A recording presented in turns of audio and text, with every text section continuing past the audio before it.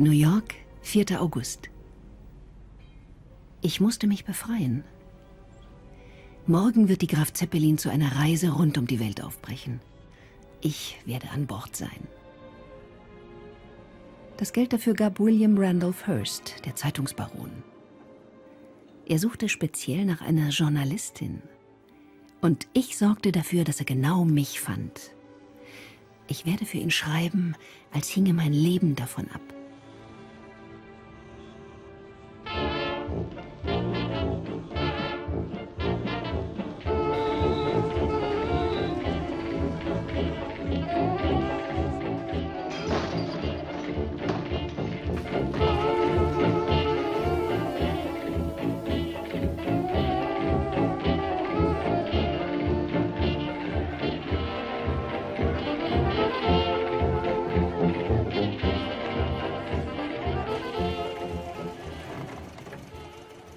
Jahrelang habe ich mich mit Geschreibsel für englische Frauenmagazine durchgebissen. Die letzten Hochzeiten, schicke Cocktailpartys. Dies ist meine Chance, für eine große, seriöse amerikanische Zeitung zu schreiben. Für Hearst ist es eine erstklassige Gelegenheit, Aufmerksamkeit zu gewinnen und Zeitungen zu verkaufen. Was könnte für bessere Verkaufszahlen sorgen als ein bezauberndes junges Ding wie ich?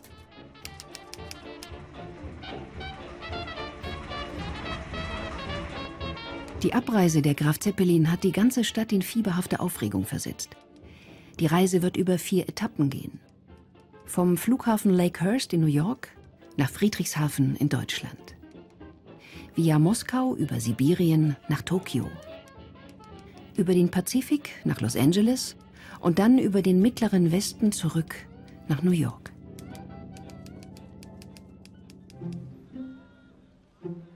Am Flughafen arbeiten die Männer unter größter Anstrengung, um mit all den Vorbereitungen fertig zu werden.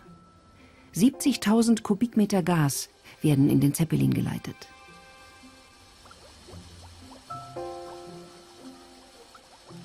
Fast eine Tonne Lebensmittel werden an Bord sein. Ich liebe Maschinen. Die Mechanik dieses gigantischen Luftschiffs ist einfach exquisit so perfekt, so exakt in ihrer Schönheit wie das Uhrwerk in meiner winzigen Platin- und Diamantarmbanduhr. Es ist der Tag vor der Abreise. Ich kaufe eine Zeitung in der Straße. Der Flug um die Welt beherrscht alle Zeitungen. Sie sind voll von großen Schlagzeilen, den neuesten Nachrichten. Gegen Mittag habe ich ein letztes Treffen mit Hearst.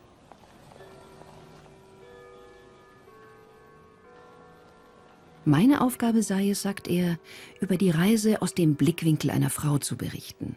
Frauen seien schließlich ein wichtiger Teil der Leserschaft seiner Zeitung. Werte Dame, sagt er, an Ihnen ist etwas Besonderes, aber Sie haben erst wenig Erfahrung als Journalistin. Ich werde Ihnen daher einen erfahrenen Journalisten zur Seite stellen. Karl von Wiegand. Ich fühle, wie mir das Blut aus dem Gesicht weicht. Sechs Monate ist es her, dass Karl unsere Affäre beendet hat. Und seither habe ich ihn nicht gesehen.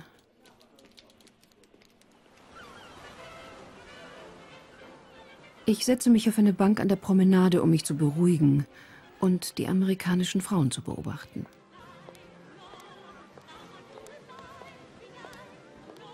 Ich hatte Karl auf einer unserer Arbeitsreisen kennengelernt. Es war Liebe auf den ersten Blick. In seinen Augen erkannte ich meinen Seelenverwandten. Doch Karl ist ein verheirateter Mann. Verheiratet mit einer Frau, die geistig nicht gesund ist. Es war seine Entscheidung, dass wir uns nicht mehr sehen sollten. Er glaubte, es sei seine Pflicht, sich um seine Frau zu kümmern.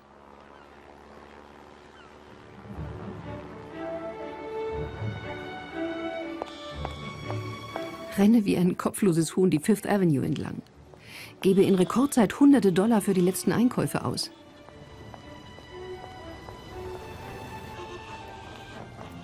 Ich kaufe einen fantastischen Hut, drei neue Kleider, traumhaftes Material.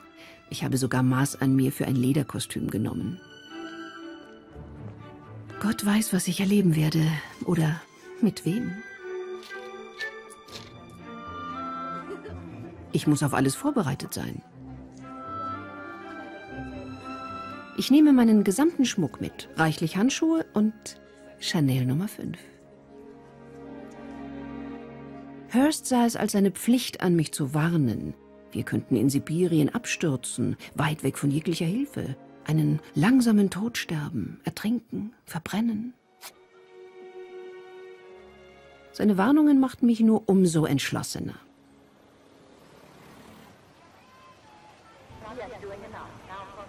New York, 7. August. Der letzte Abend. Ich bin ein Nervenbündel. Alle werden Sie da sein. Heute Abend beim Zeppelin-Ball.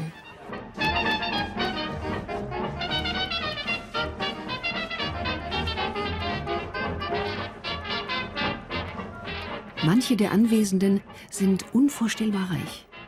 Jede Familie besitzt ihr eigenes Flugzeug. Und einige von ihnen, Vater, Mutter und Tochter, haben drei, ja, drei Autos mit Chauffeur. Für sie ist es kein Problem, an Drinks zu kommen.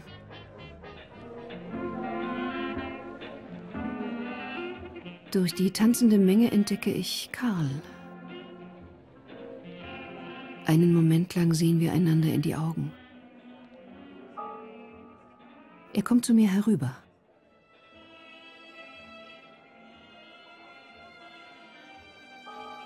Karl ist kühl. Er ist distanziert. Er fasst sich kurz. Fragt, ob ich vorbereitet sei. Das ist alles, was er sagt. Denn bevor ich einen Gedanken fassen kann, hat er sich schon umgedreht und geht. Ich habe genug von der Feier. Ich möchte einfach nur laufen, meilenweit. Auf meinen eigenen Beinen, solange es noch geht.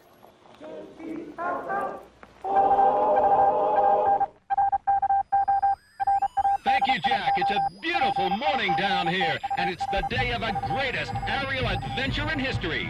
Crowds are gathering here at Lakehurst, New York, to take a last-minute glimpse of the beautiful Graf Zeppelin. And they're here to watch the departure of her flight around the world. The band is playing out a stirring farewell. Ich erreiche den Flughafen mit meinen schweren Koffern gerade rechtzeitig. Ich komme mir vor wie Alice im Wunderland. Unmöglich, den Blick von diesem Luftfahrtkoloss abzuwenden. Wie es da im Hangar liegt, erinnert es mich an eine riesige, trächtige Kreatur, die bereit ist, ihr Versprechen einzulösen. Dann trifft der deutsche Luftfahrtkapitän Eckener ein. Unter seinem Kommando wird die gesamte Expedition stehen. Er ist der Zeppelin. So sehr identifiziert er sich mit diesem gewaltigen Luftschiff. Of the Graf Zeppelin around the world, on which we are about to start, will be the fulfillment of our hopes regarding the airship AER. Auf Wiedersehen. Als alles bereit ist, werde ich plötzlich vor die Kamera gedrängt. Neben Karl. All right, Lady Hayes, few words, please. I'm looking forward to the trip very much indeed, and I realize what a great honor and a great privilege it is to be the first woman to travel around the world by air. We expect to have quite an exciting time and experience many thrills.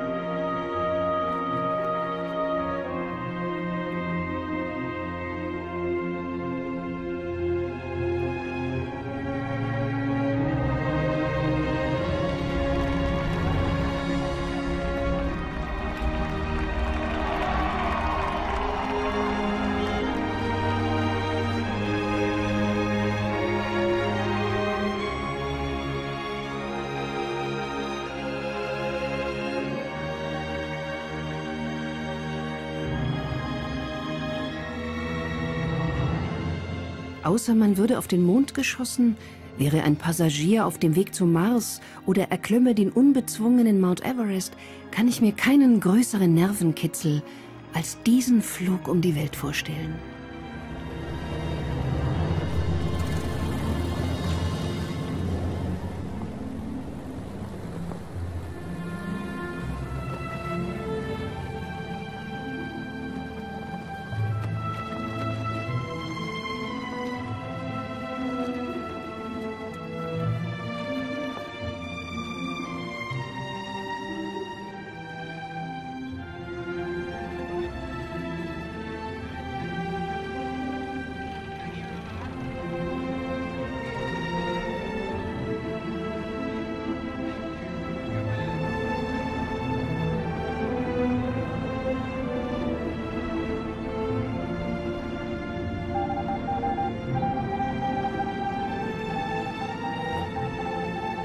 Her silver radiance is dimmed to a dull slate in the shadows of the clouds. From under her sides twinkle the yellow cabin lights, indicating where the 20 passengers are located. And one of them is a woman. Her name is Lady Grace Hay.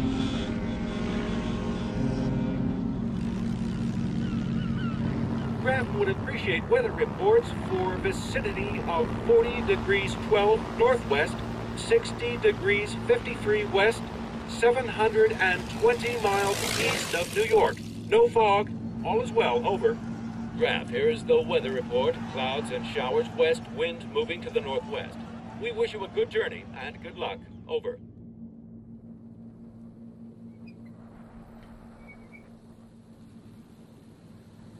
Ich zittere noch am ganzen Körper. Das Gefühl, durch die Luft zu fliegen. Zu sehen, wie alles unter uns winzig wird. Und dann der endlose Horizont. Dieser Blick von Nord nach Süd, von Ost nach West. Um uns herum nur unberührter Himmel. Ich bin erfüllt von Staunen.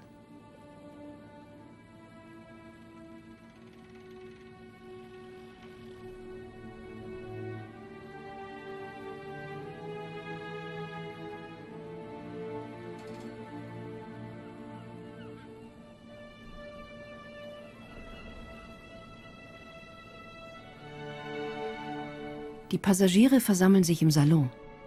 Tee und Kaffee, Sandwiches und eine kleine Mahlzeit werden serviert. Alles Journalisten von bedeutenden Presseagenturen. Einige scheinen sich mächtig für die einzige Frau zu interessieren und bitten darum, vorgestellt zu werden. Andere starren mich ohne Scham an und folgen mir mit ihren Blicken. Ich starre mit charmantem Blick zurück.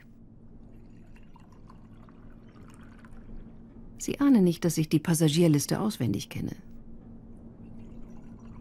Sir Hubert Wilkins, der Doyen aller Forschungsreisenden, gerade zurück aus der Antarktis. Er hat aus seinem Flugzeug heraus unentdecktes Land kartografiert. Heinz von Liechtenstein, deutscher Journalist. Seine Kollegen verachten ihn, aber er hat eine riesige Leserschaft. Professor Karklin, der einzige russische Korrespondent, er wird aus dem Luftschiff berichten, sobald wir über Moskau sind. Professor Fujiosi, japanischer Wissenschaftler. Er wird uns im Auftrag seiner Regierung bis Tokio begleiten. Sehr auffällig der Amerikaner William Leeds, der jüngste und wohlhabendste Passagier, der einzige, der den Flug aus eigener Tasche bezahlen konnte. Und dann Karl. Ich weiß, er sieht nicht gerade aus wie Hursts Star-Reporter, aber ich habe nie einen Journalisten kennengelernt, der die Welt so offen und unvoreingenommen betrachtet wie er. Er zählt zu den angesehensten Auslandskorrespondenten in Amerika und alle an Bord bewundern ihn. Er bietet mir einen Stuhl an. Ich fühle mich ihm nah, jetzt, da wir dieselbe Aussicht teilen.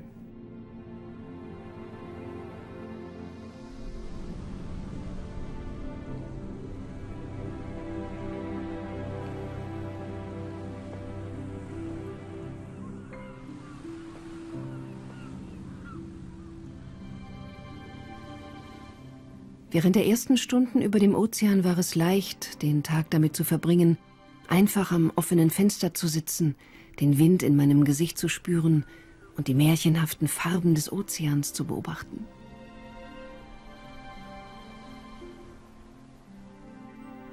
Alles ist so gut organisiert. Die besten Weine zum Abendessen und ein netter junger Steward, der sich sehr zuvorkommend um uns kümmert.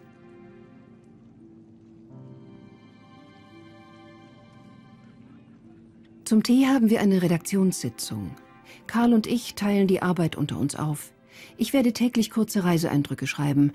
Karl wird einen langen Artikel über die europäische Politik verfassen. Nach Berlin will er, dass ich etwas Längeres über die russische Politik schreibe.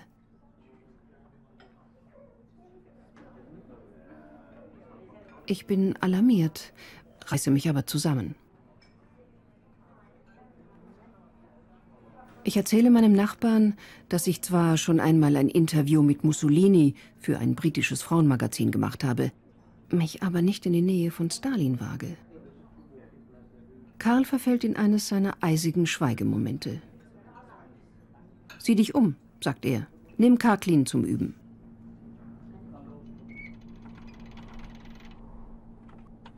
In der Dämmerung sinken Nebel und Wolken tief nach unten.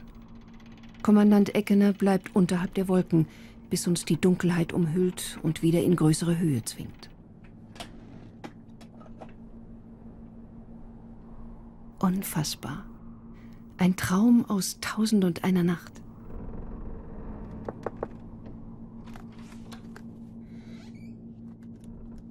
Karl steht im Halbdunkel in der Tür. Er kommt herein, gibt mir meinen Artikel mit seinen Korrekturen. Der Mond scheint klar. Verspielt fallen Strahlen auf die spiegelgleiche See.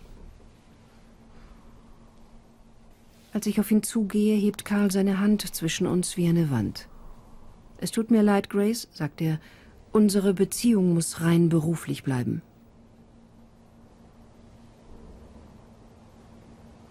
Er wünscht mir eine gute Nacht.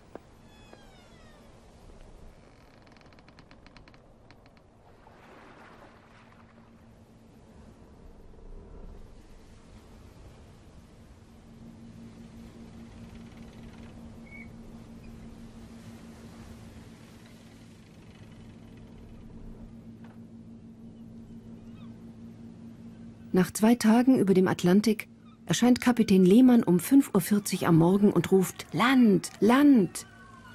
Die Männer auf der Brücke sind in heller Aufregung und wir sind eiligst zur Stelle, um es auch zu sehen.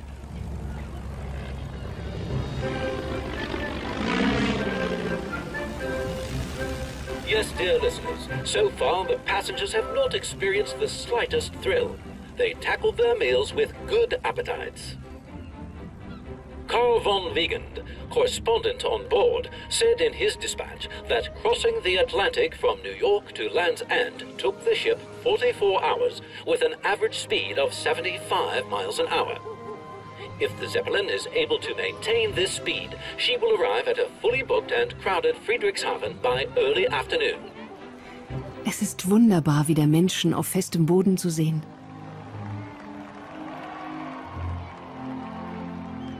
Karl und ich gingen früher oft ans Meer. Wir lieben beide den Duft der Seebrise. Es war eine herrliche Zeit damals. Wir waren entzückt voneinander. Er zeigte seine warmherzige, sanfte Seite. Doch wir waren nie gänzlich sorgenfrei. Stets war da der Schatten von Karls Frau, Ines.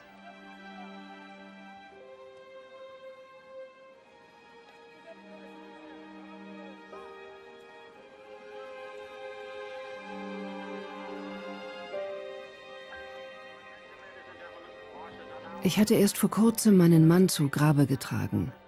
Robert war 50 Jahre älter als ich gewesen. Ich hatte ihn über Verbindungen meines Vaters kennengelernt. Ich dachte, wir würden gut zueinander passen. Die Ehe erstickte mich. Gott, wie ich mich nach Zärtlichkeit sehnte, nach Nähe.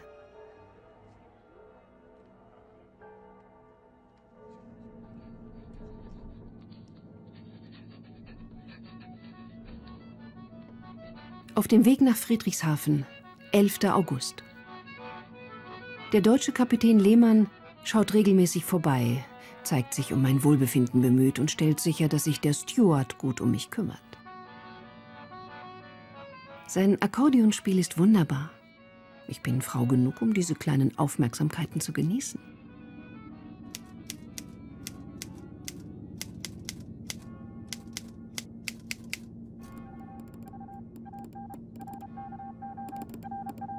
Wir überfliegen die Kriegsfelder, wo unsere Landsmänner begraben liegen, die im heldenhaften Kampf massenhaft ihr Leben ließen.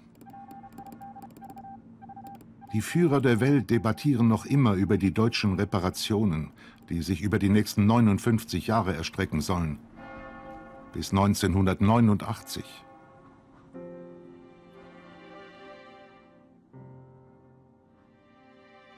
Unsere Diskussionen sind hitziger geworden. Europa wird als Brutstätte für Konflikte betrachtet. Die Meinungen sind geteilt. Optimisten wie Leeds sehen eine goldene finanzielle Zukunft voraus. Karklin glaubt felsenfest an das kommunistische Idealbild. Karl hält sich aus den Diskussionen heraus. Er ist kein Mann vieler Worte. Was er zu sagen hat, sagt er in seinen Artikeln.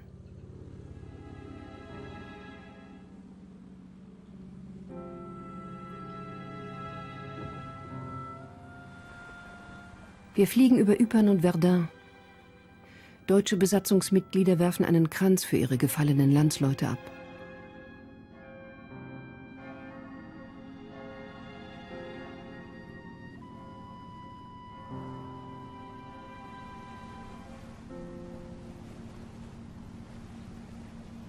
Das Wasser des Bodensees und die kleine Stadt Friedrichshafen liegen in der Ferne am Horizont.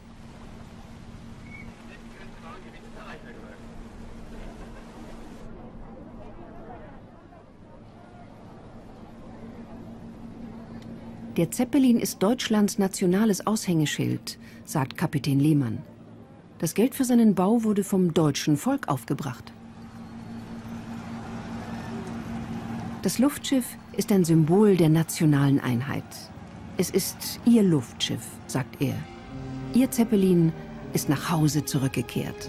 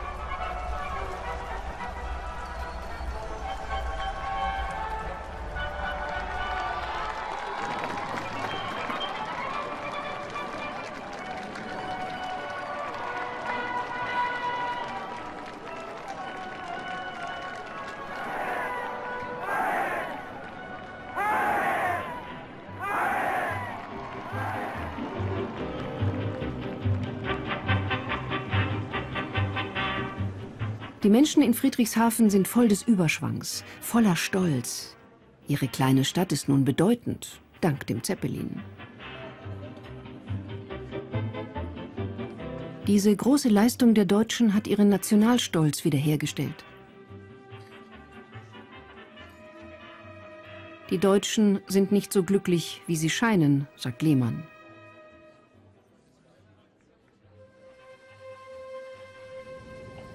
Ursprünglich war der Plan, von Friedrichshafen nach Friedrichshafen zu fliegen. Deutschland kann keine weiteren Mittel mehr aufwenden, also zahlt Hearst. Ihm gehört die Reise. Und deshalb geht sie von New York nach New York.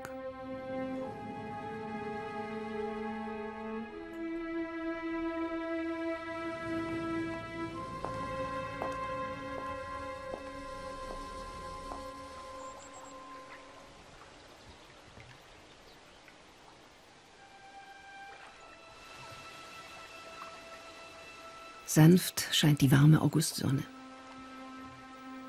Es ist herrlich, im Park zu sein und all die Fröhlichkeit zu genießen. Lehmann und ich schließen uns einigen Besatzungsmitgliedern an, die in Gesellschaft deutscher Mädchen sind. Karl ist auch bei ihnen. Es ist ein heiterer, ausgelassener Nachmittag. Wie unbekümmerte Kinder genießen wir voll und ganz den Augenblick. Ich kann meinen Blick nicht von Karl wenden. Ich zwinge mich wegzusehen.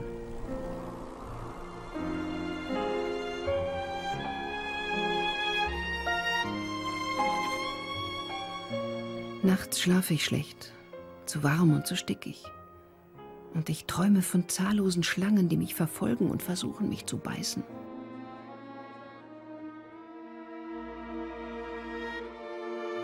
Eine große will, dass ich ihr einen Kuss gebe.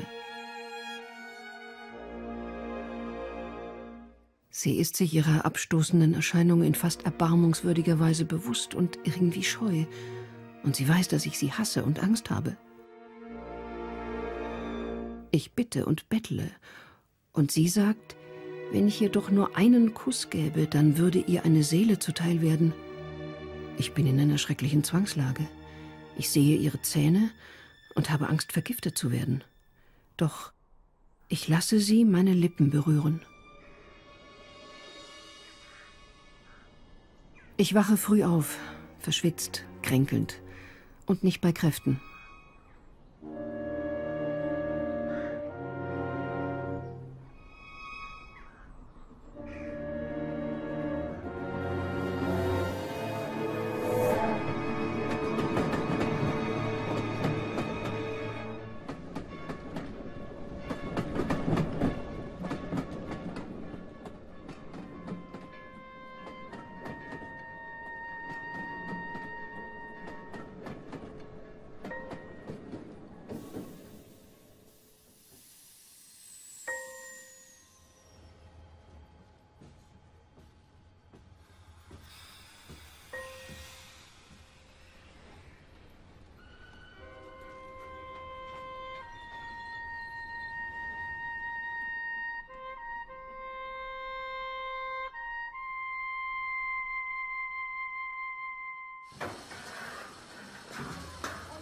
Am Morgen unserer Abreise gibt es großen Wirbel um Kommandant Eckener. In einem Interview hatte er gesagt, dass die Graf Zeppelin eigentlich veraltet sei, Deutschland aber an einem technisch weiterentwickelten Luftschiff arbeite. Einige der Passagiere sind sehr aufgebracht. Kein Wunder, liegt die gefährlichste Etappe doch noch vor uns. Wir meinen damit nicht Berlin oder das polnische Flachland, sondern die riesigen einsamen Weiten Russlands und Sibiriens. Wir haben Treibstoff für 150 Stunden, für 11.000 Kilometer.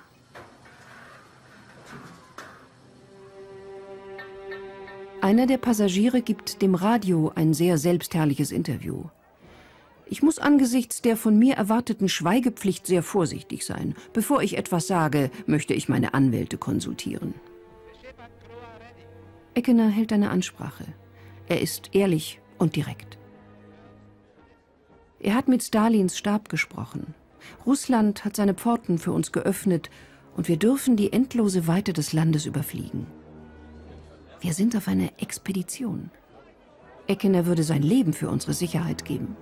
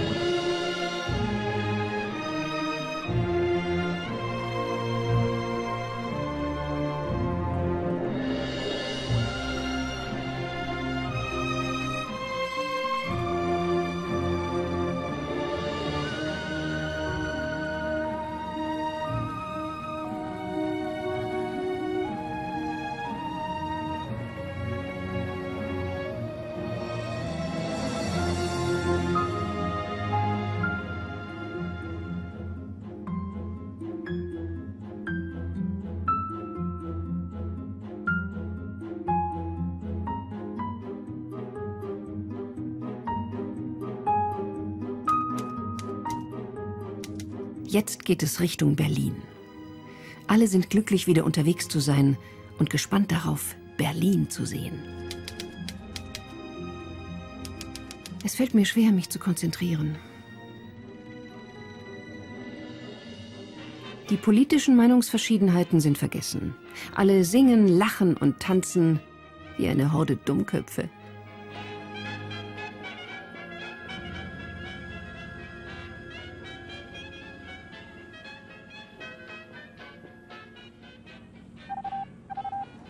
In the last hour, the city has become thronged with people. The traffic is chaotic.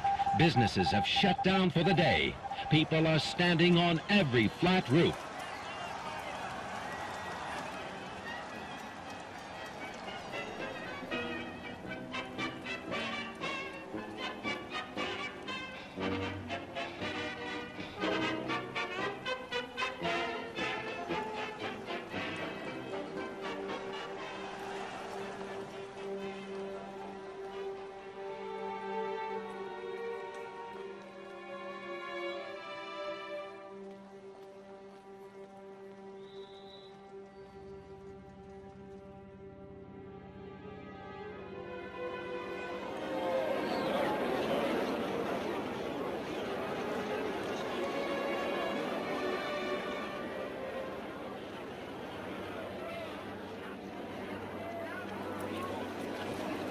Not everybody is celebrating the arrival of the Zeppelin.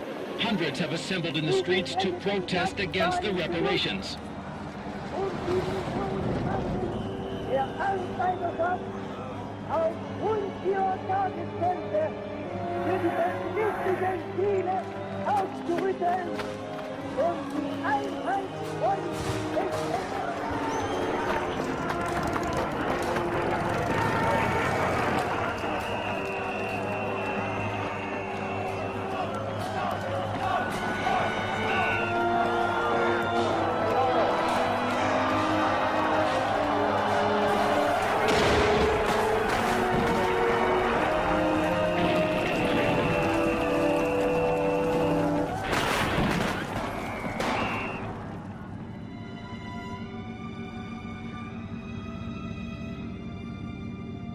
Kurz hinter der polnischen Grenze. 15. August. Die Gewalt war schrecklich. Kommandant Eckener sieht besorgt aus, wie alle Deutschen an Bord. Tief im Innern weiß ich, dass ich darüber berichten sollte. Dass es wichtig ist, von dieser gegenwärtigen Gewalt der Extremisten zu schreiben. Ich ziehe es vor, sie zu ignorieren. Die Mannschaft hat uns sehr ernst auf das Bevorstehende hingewiesen und das Wasser für alle rationiert. Die Männer sollen sich ab sofort nicht mehr die Mühe machen, sich zu rasieren und zu waschen. Für mich wird eine Ausnahme gemacht. Wer möchte schon mit einer ungewaschenen Frau an einem Tisch sitzen? Ich muss eine Weile allein sein, um all das Erlebte zu verarbeiten.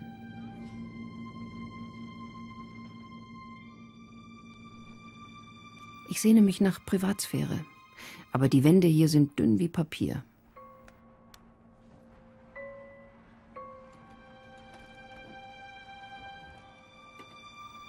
Habe die ganze Nacht versucht, an meinem Artikel über russische Politik zu arbeiten, aber alles, was ich zustande brachte, verworfen habe es weggeworfen.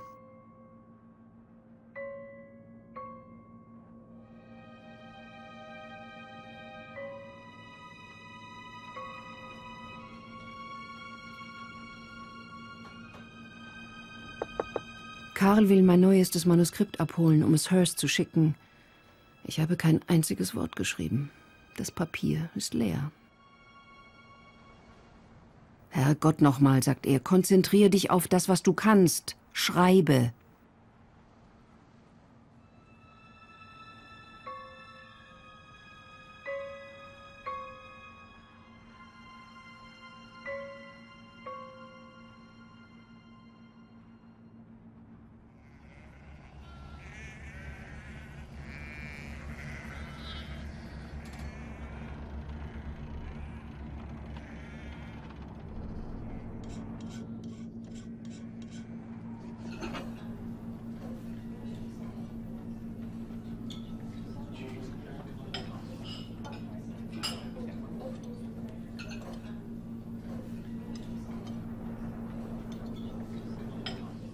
Über Russland, knapp 250 Kilometer von Moskau. 16. August. Meine Kollegen sind alle mit Schreiben beschäftigt. Russland scheint jeden zu inspirieren. Ich muss meine Ablehnung überwinden und mit Karklin sprechen. In Moskau, erzählt er mir, erwarten Tausende von Menschen den Zeppelin. Er spricht über dieses Gebiet, eine trostlose Gegend, in die die Revolution nie vorgedrungen ist. Kollektive sollen die Revolution auch in diesen rückständigen Landstrich bringen. Ich entgegne, dass mir die stagnierende Revolution eine zweifellos positive Angelegenheit scheint. Der Bolschewik ist sichtlich verärgert.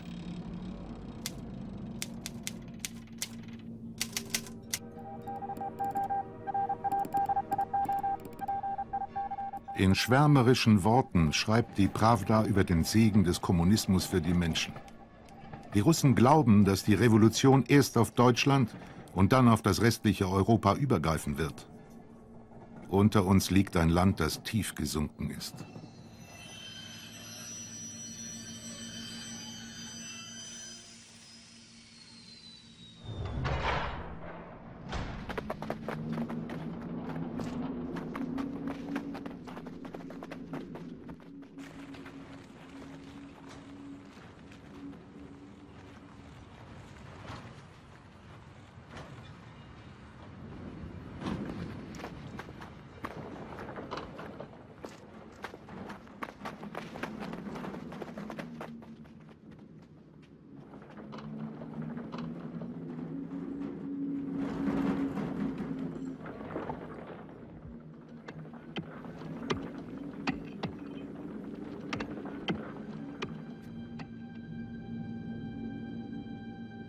Plötzlich dreht das Luftschiff scharf nach Norden ab. Wir haben Mühe, das Gleichgewicht zu halten. Einige Momente stockt uns der Atem. Eckener hat die undenkbare Entscheidung getroffen, nicht über Moskau zu fliegen. Ein Tiefdruckgebiet über dem Kaspischen Meer verursacht ungünstigen Gegenwind aus Osten. Es wäre selbstmörderisch, Treibstoff für acht oder zehn Stunden nur für einen Flug über Moskau zu verschwenden. Karklin stürmt auf die Kommandobrücke und brüllt Eckener an. Das ist eine Beleidigung für den Bolschewismus und Stalin. Doch ausrichten kann der Bolschewik nur wenig. Eckener bleibt ruhig.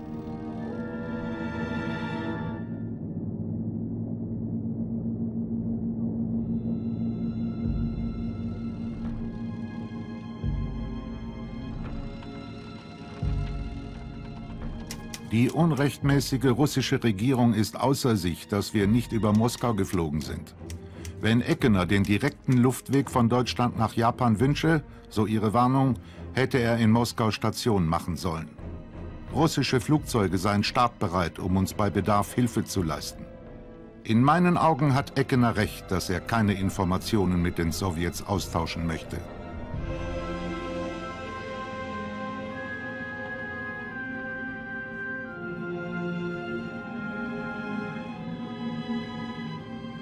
Ich habe sie satt, diese ganzen politischen Debatten im Salon.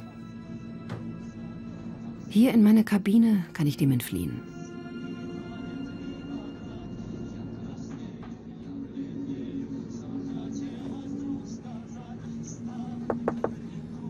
Warum kommt er trotzdem ständig zu mir?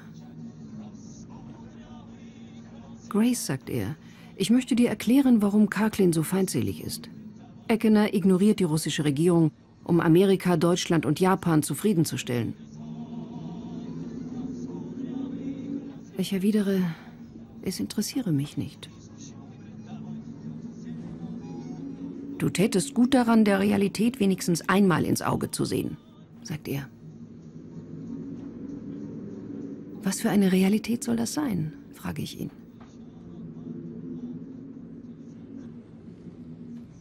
Ich möchte ihn aus meiner Kabine stoßen. Stattdessen bitte ich ihn einfach nur zu gehen.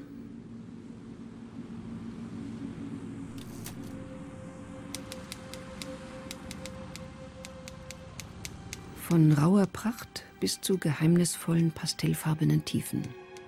Von zerklüfteter Wildheit bis zum verführerischen Reiz des Nicht-Greifbaren. Die herabsinkende Nacht umspinnt die Landschaft im gedämpften Licht der Dämmerung mit etwas Lieblichem.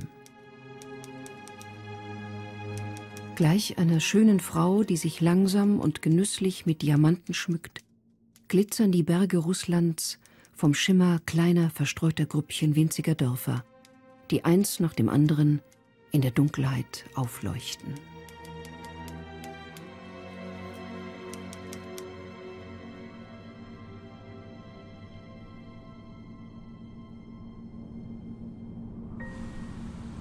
Als ich am nächsten Morgen erwache, hat sich die Landschaft komplett verwandelt.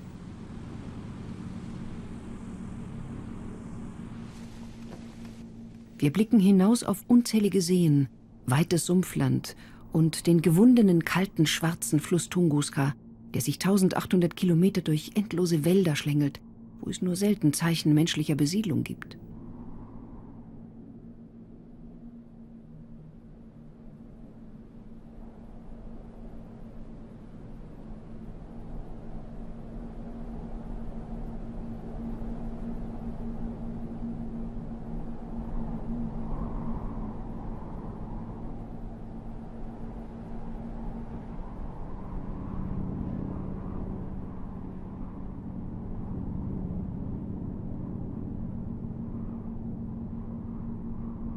Ich habe Karl letzte Nacht einen Brief geschrieben.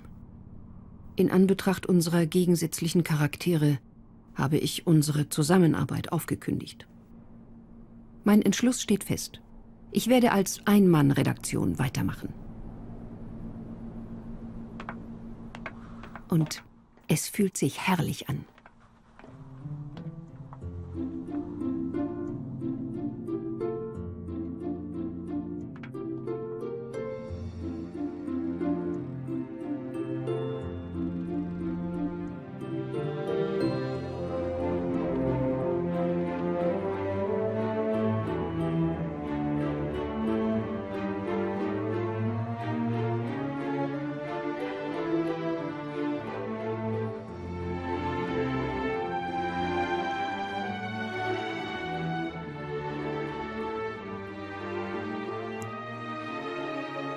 Der Koch hat im Frachtraum einen blinden Passagier entdeckt.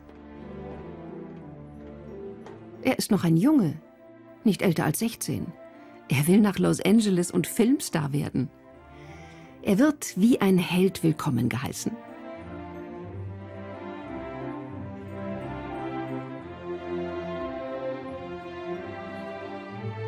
Karl hat sich nicht blicken lassen.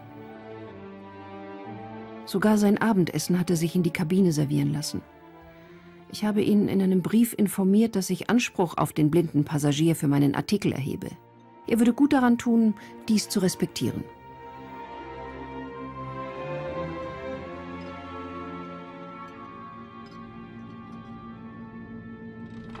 Dreißig Stunden über Sibirien machen einen mürbe. Die Einsamkeit ist wie ein schleichendes Gift.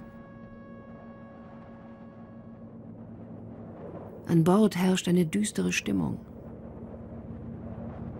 Den größten Teil des Tages liege ich in meinem Daunenschlafsack. Es gibt keine andere Möglichkeit, sich warm zu halten.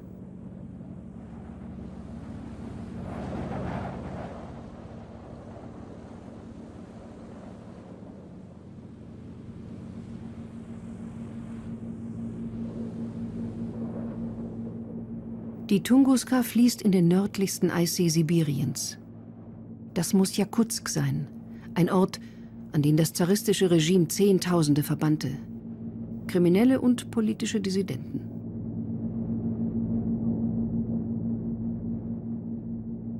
Angesichts der Entfernung, die wir inzwischen zurückgelegt haben, ist dies eine düstere Wildnis voller Kälte und Isolation, aus der niemand je entfliehen kann.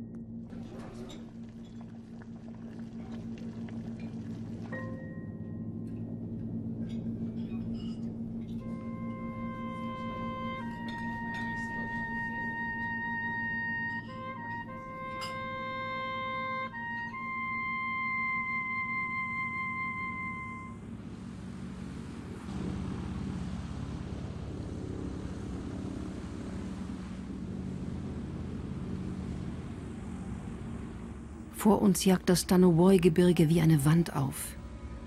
Wir versammeln uns im Salon. Auf der ungenauen Karte sind Gipfel mit Höhen von etwas über 1000 Meter eingezeichnet, aber Eckener schätzt, dass wir 2000er Gipfel vor uns haben. Damit das Luftschiff nicht an den Bergen zerschellt, muss es auf eine Höhe steigen, die niemand für denkbar hält. Im Salon herrscht Gedränge. Ruckweise geht es nach oben. Dann sind wir einen Moment lang stabil. Hunderte Liter Wasser werden abgelassen. Dann schießen wir mit einem Ruck wieder nach oben.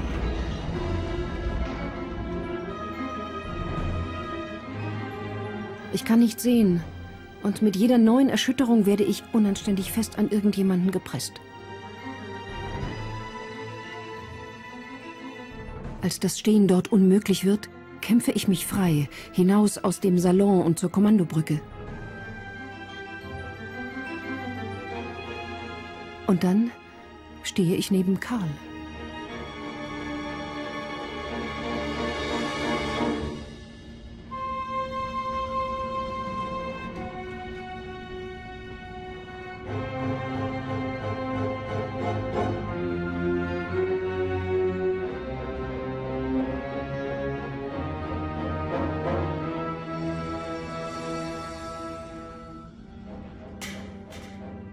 Mit einem lauten Knall wird noch mehr Wasser abgelassen. Wir schießen mehrere Meter hoch in die Luft und schaffen es gerade so über die Gipfel. Das Luftschiff scheint außer Kontrolle. Wir steigen und steigen immer höher und höher. Ich suche Karls Blick.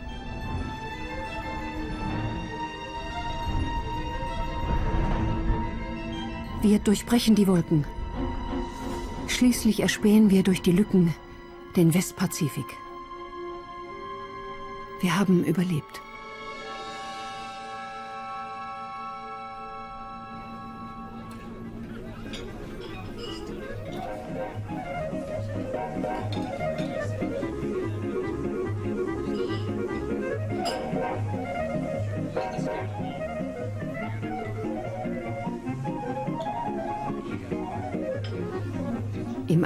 Jubel ergreift Karl meine Hand.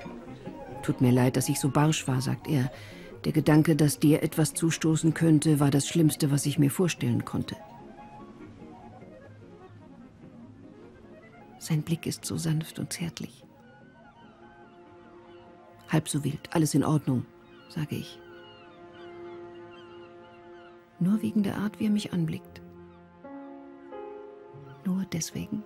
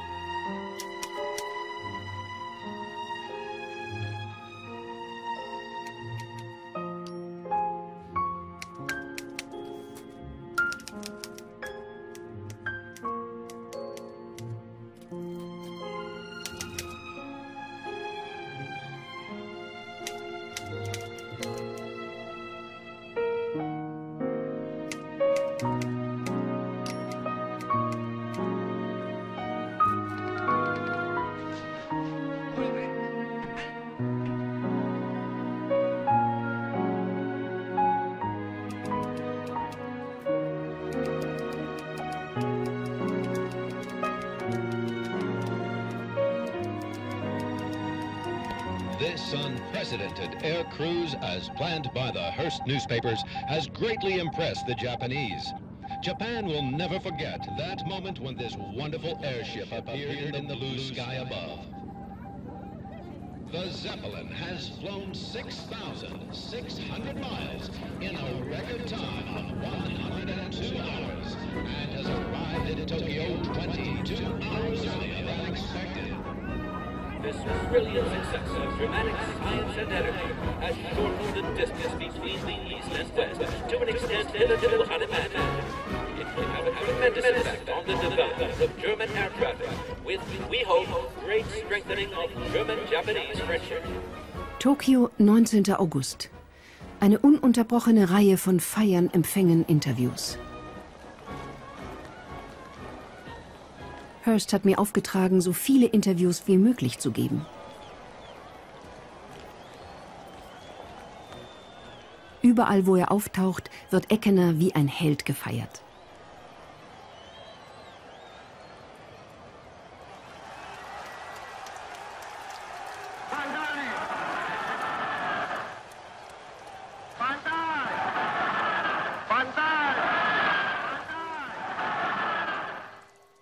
Unten in der Hotellobby gehen die offiziellen Feiern weiter. Das Bankett, der Ball, die Gartenparty.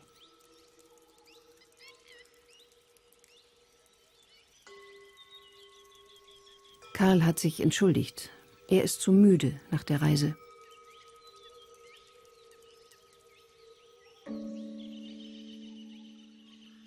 Das Hotel ist ganz bezaubernd, einem Tempel gleich. Nach der Hölle von Sibirien ist es hier wie im Märchen. Der Garten ist voller Blumen und Teichen mit Goldfischen. Es ist warm, Gott sei Dank. Ich bin so ausgehungert nach Wärme.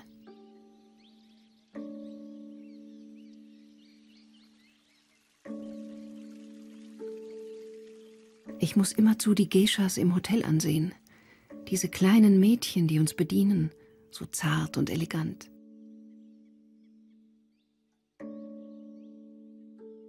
Neben ihnen komme ich mir so unbeholfen vor. Karl klopft an meine Tür. Er trägt einen leichten weißen Leinenanzug und sieht überaus stattlich aus. Er nimmt mich am Arm. Wir stehlen uns aus dem Hotel.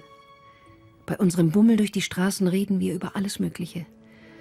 Ich bin wieder viel mehr ich selbst.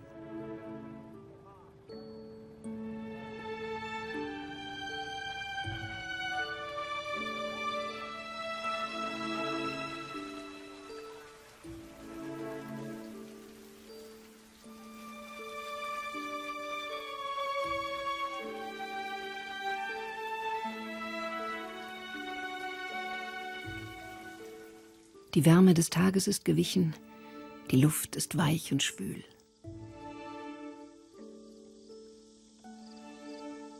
Ich habe mein schwarzes fernöstliches Seidennachthemd angezogen, auf das wilde, grünäugige Drachen gestickt sind. Dazu passende Slipper.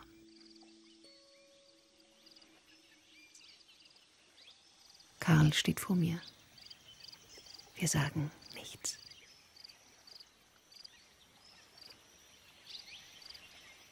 Ich zögere einen Moment, nehme dann seine Hand. Seine Finger verschränken sich dankbar mit meinen.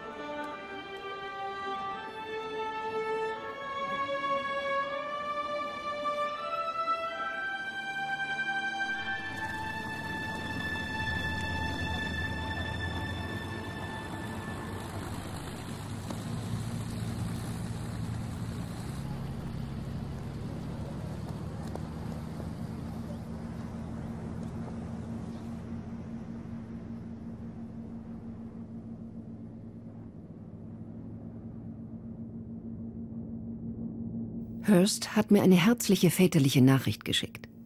Meine Artikel, schreibt er, seien brillant. Bestens für die Titelseite und die Verkaufszahlen seien enorm. Es geht mir gut. Ich habe wunderbar geschlafen und bin voller Energie und freudiger Erwartung. Karl sieht so glücklich aus wie schon seit Ewigkeiten nicht mehr. Doch dann taucht der Steward mit einem Telegramm in der Hand auf. Es ist von Karls Frau, Ines. Das Herz wird mir schwer.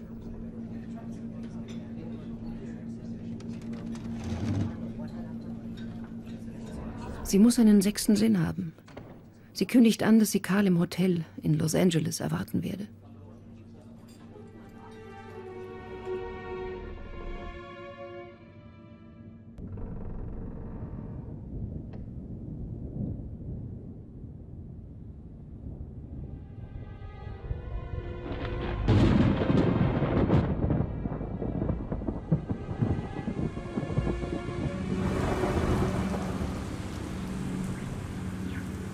Will appreciate weather report en route for 150 degrees east, 54 degrees north. Over. Graf, here is the weather report. Clouds and showers. Very strong wind west, moving to the northwest. Devastating storm expected. And typhoon. Try to return to Japan. Over. Thank you for your help. We cannot turn around. The wind is sucking us in. There is no way back. May God help us to get through.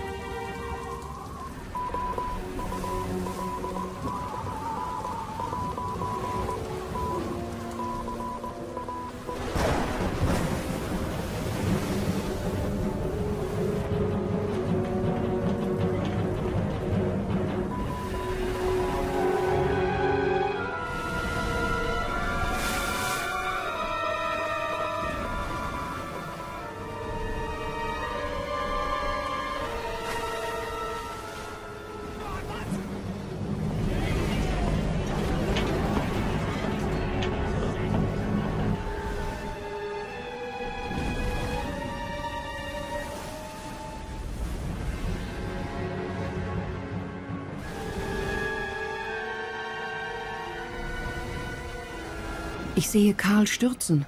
Seine Brille schleudert über den Boden. Hilflos tastet er um sich.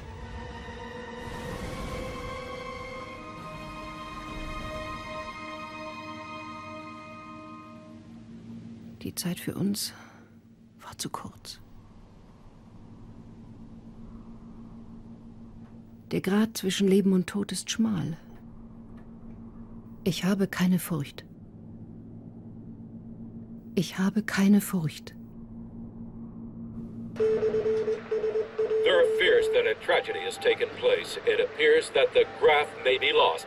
As far as is known, the airship ran into a storm. Since that moment, radio contact has been broken. The Graf appears to have disappeared in a storm above the Pacific.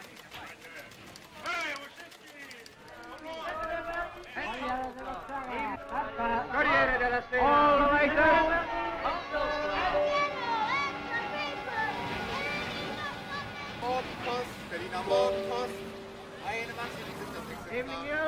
Yeah,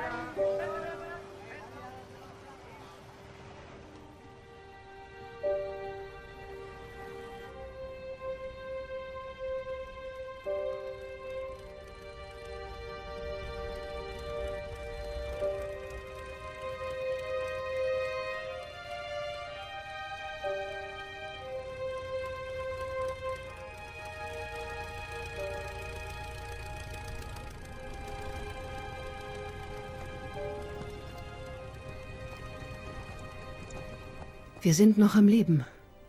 Trotz all dem. Doch ich weiß nicht, ob wir Amerika je wiedersehen werden. Wir wurden vom Kurs abgetrieben und landeten schließlich in der Bucht einer kleinen, unbewohnten Insel. Eckener stehen die Sorgen ins Gesicht geschrieben. Er trägt die schwere Verantwortung, uns von hier wieder wegzubringen. Die Mannschaft versucht, die Schäden zu beheben. Eine Art Niemandsland. Die Dringlichkeit der Reise ist dahingeschwunden. Um uns herum ist nichts als Wasser. Ein ruhiger Ozean. Friedlich und befremdlich.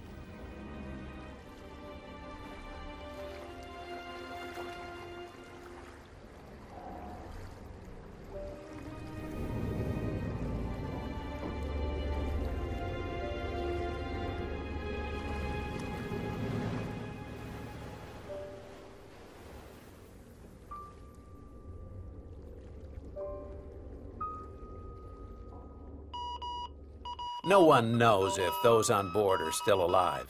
Search operations from Japan and America are underway.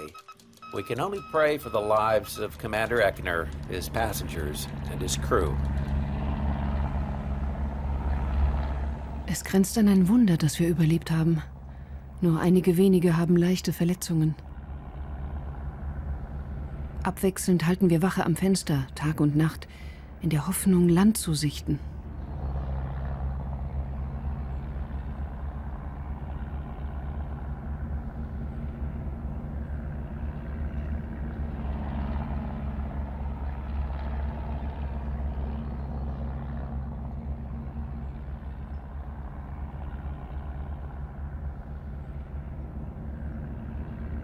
Wir wissen, dass wir nichts tun können.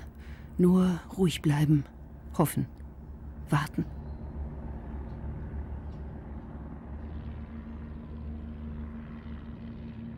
Alle haben Angst.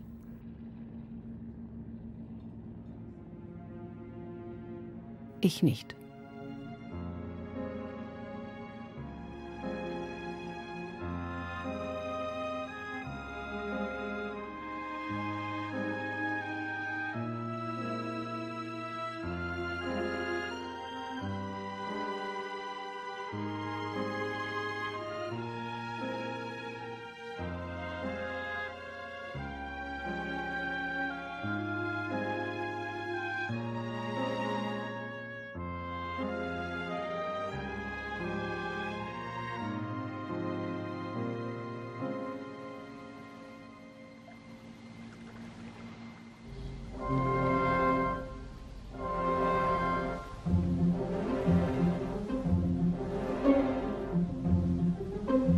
Airship by all odds, the Graf Zeppelin, has flown over us, the Edward Luckenbach, 13 miles from Point Sur, Monterey County at 8.40 p.m.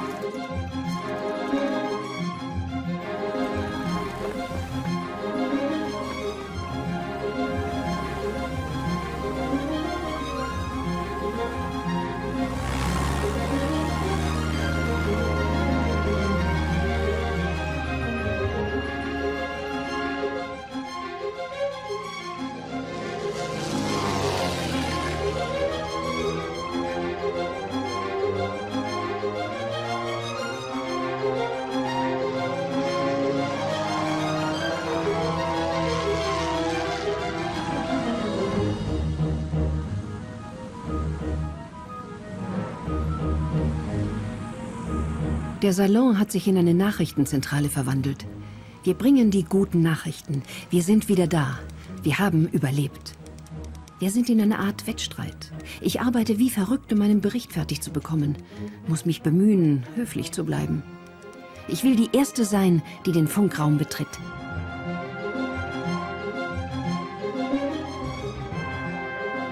Here is Radio San Francisco. The Graf Zeppelin has been found again after being missing for two days and is now flying over our city.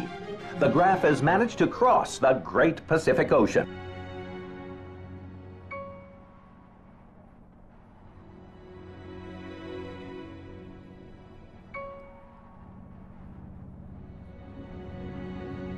Wir nehmen Kurs auf Los Angeles.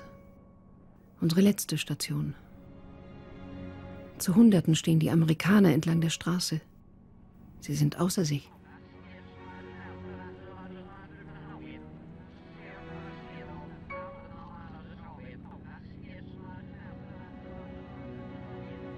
Wir sind zurück in der Realität. Ich fürchte mich zu Tode vor der Begegnung mit Ines.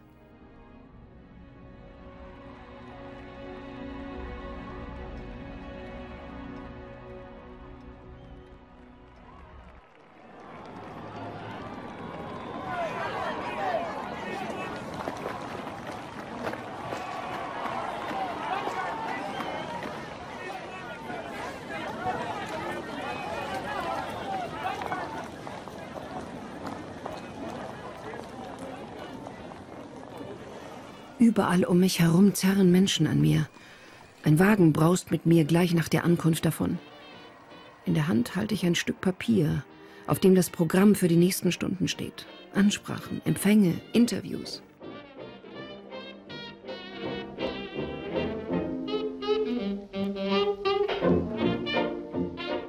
Ich bin erschöpft, als ich das von Menschen überfüllte Hotel erreiche. Lokalpolitiker und Geschäftsleute. Alle sind hier in Feierlaune. Sie alle wollen ein Stück des Kuchens abhaben. Ich quäle mich und warte. Karl wird in Begleitung von Ines eintreffen.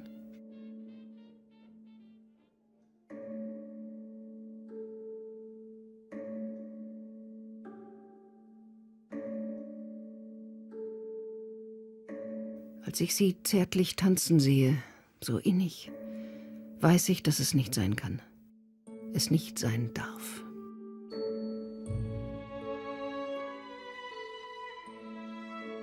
Ich muss meinen Weg allein gehen. Ich schreibe ihm einen Brief. Mein liebster Karl. Ein Abschiedsbrief. Ich denke immer nur an dich. Nie zuvor habe ich eine so wunderbare Liebe erfahren. Behalte im Herzen das Wunderbare, das Schöne, das wir geteilt haben. Ich werde dich immer lieben. Deine Gracie.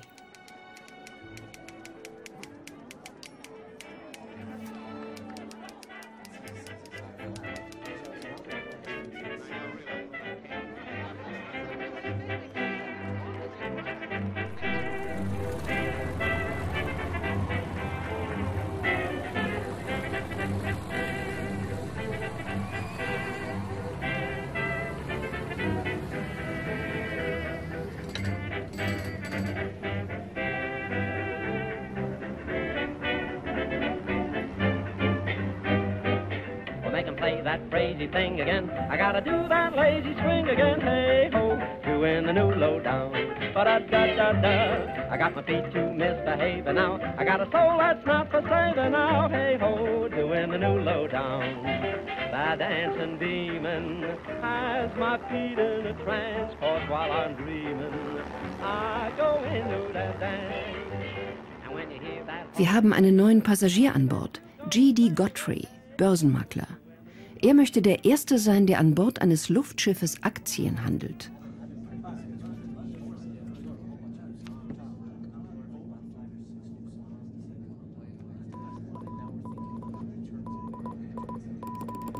Seit Godfrey mit seinem Aktienhandel begonnen hat, herrscht eine fieberhafte Atmosphäre an Bord.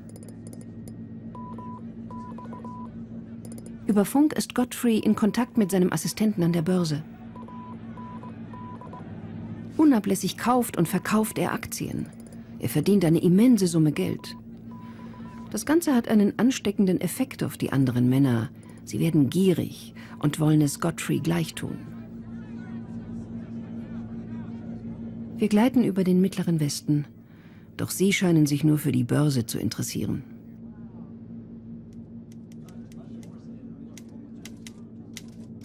Karl und ich sprechen nicht mehr miteinander. Er hüllt sich konsequent in tiefstes Schweigen zu meinem Brief.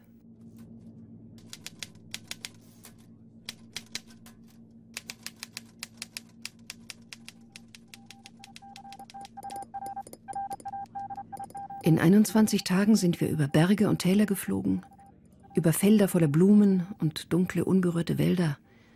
Wir haben Länder überquert, in denen Menschen wie Gefangene leben und das Leben keinen Wert besitzt.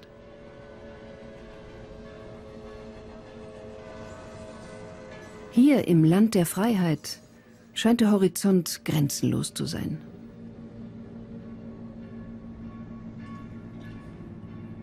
Diese Welt zu sehen, diese Reise zu erleben, nichts kann jemals wieder so sein, wie es war. We are in radio contact with the Graph. We hear that after a good rest, Eckener has come out of his cabin to fly the airship over New York. The old man is back in front.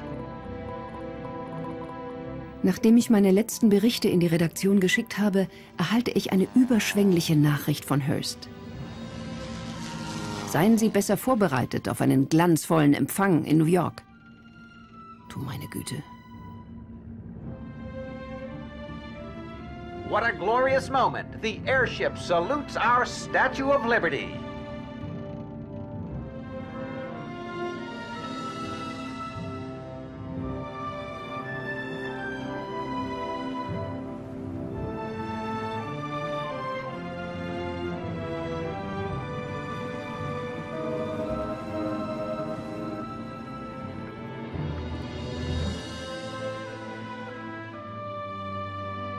Wir haben uns alle auf der Kommandobrücke versammelt. Es ist ein atemberaubender, feierlicher Moment.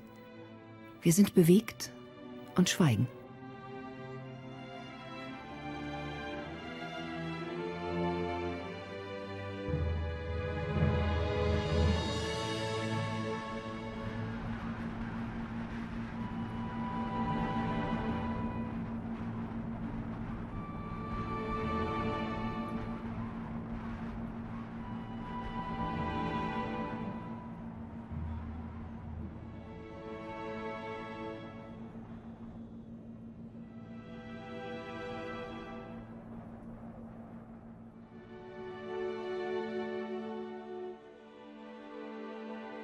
Karl kommt zu mir. Ich sage ihm, dass ich keine Angst habe, dass ich meinen Weg gehen muss. Er sagt, glaub mir, du bist besser dran.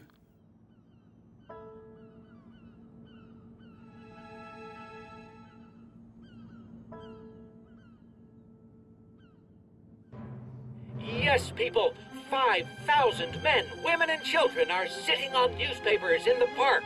The streets are packed. All available parking places have been taken. Deafening cheers rise up when the Zeppelin appears on the horizon.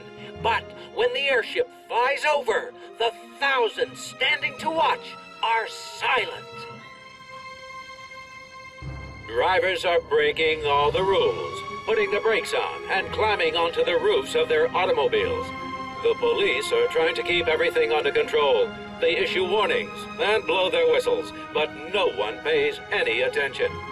Pretty soon, the officers give up, shrug their shoulders, and turn their eyes up to the sky to join the watchers. Yes, people, New York has gone crazy.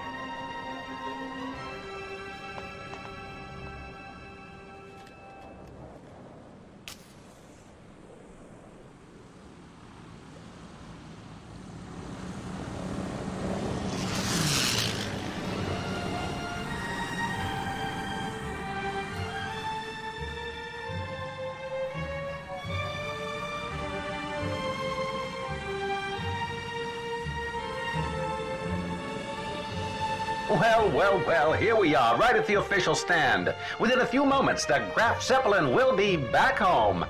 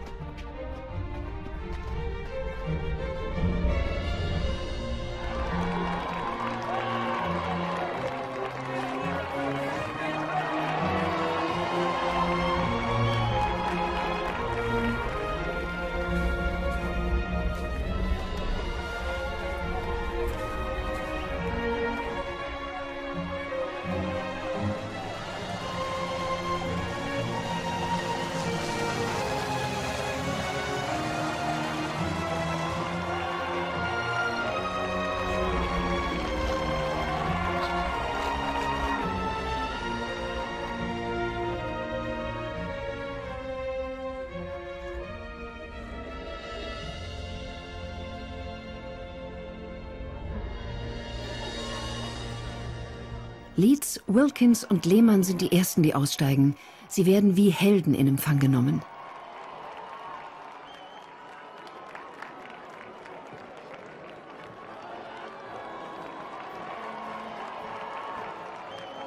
Eckener wird mit einem Sturm der Begeisterung begrüßt. Ich kann sehen, wie glücklich er ist.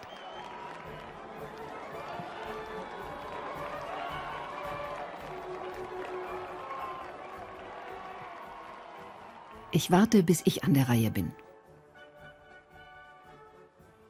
Dann begreife ich, dass das Rufen der Menge draußen mir gilt. Mir.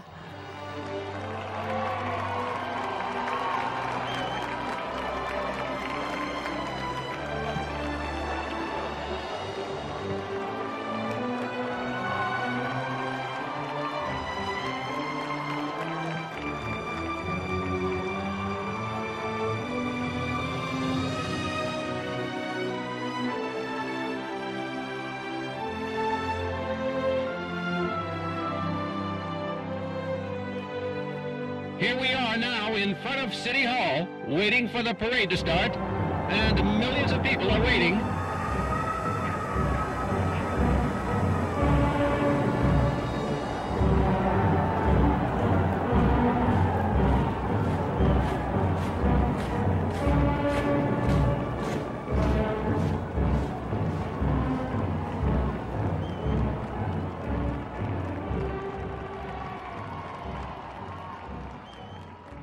Ich fahre in der Parade hinter Eckener.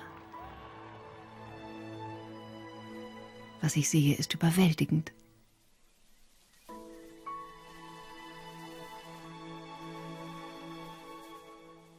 Mir ist das Privileg zuteil geworden, die erste Frau zu sein, die um die Welt fliegt. Ich bin das glücklichste Mädchen der Welt.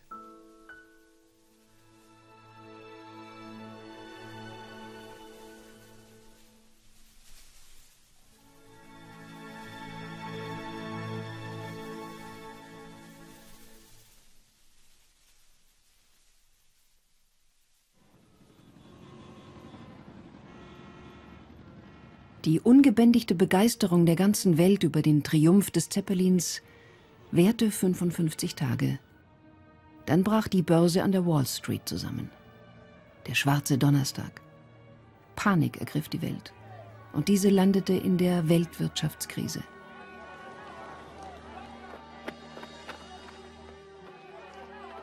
Jeder hatte zu leiden. Unser Beruf brachte Karl und mich wieder zusammen. 20 Jahre lang reisten und arbeiteten wir als eng befreundete Kollegen. Ich bekam die Möglichkeit, die Journalistin meiner Träume zu werden und über das zu berichten, was Geschichte schreibt. Ich schrieb über die prosperierende Erfolgsgeschichte des Zeppelin, der zweimal wöchentlich in zwei Tagen von Deutschland nach Rio de Janeiro flog. Ich bereiste die ganze Welt. Ich berichtete über Kriege, ich schrieb über den Niedergang des Zeppelin. Die Graf Zeppelin wurde demontiert, ihr Aluminium für die deutsche Kriegsaufrüstung verwendet. Während einer Reportage über den Krieg auf den Philippinen wurden wir von den Japanern gefangen genommen und in ein Lager gesperrt. Karl wurde verwundet. Meine Gesundheit war schwer angeschlagen, aber wir schafften es, nach New York zurückzukehren.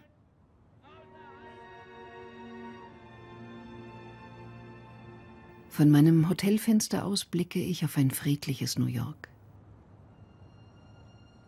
Ich bin glücklich.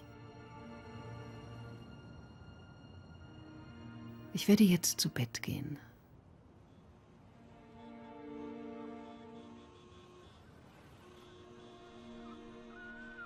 New York, 12. Februar 1946. Dienstagmorgen, 5 vor 8. Ich bin in ihr Zimmer gegangen. Gracies Zimmer war mit meinem nicht verbunden, lag aber nahe auf demselben Flur. Ich zog wie gewöhnlich die Vorhänge auf. Sie lag auf ihrer rechten Seite, die rechte Hand unter ihrer rechten Wange auf ihren Lippen ein süßes Lächeln und ein sehr glücklicher Gesichtsausdruck. Ich sprach sie an. Keine Antwort. Ich berührte ihre rechte Hand. Sie war eiskalt. Der Arzt kam schnell. Niemand hätte etwas tun können, sagte er. Sie starb während eines wunderbaren Traumes.